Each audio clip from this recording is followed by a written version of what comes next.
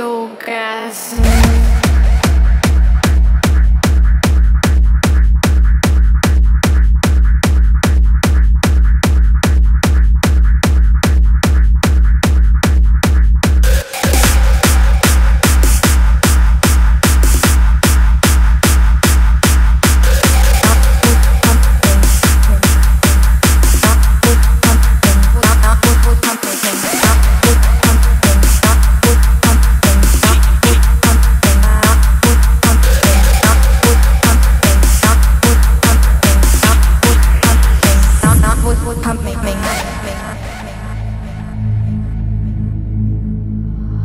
I felt the orgasm seconds before it started.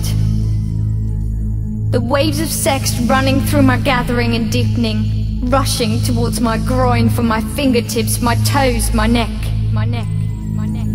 The ecstasy was so intense I felt dizzy, and all I could see was his face and those brilliant dark eyes watching me.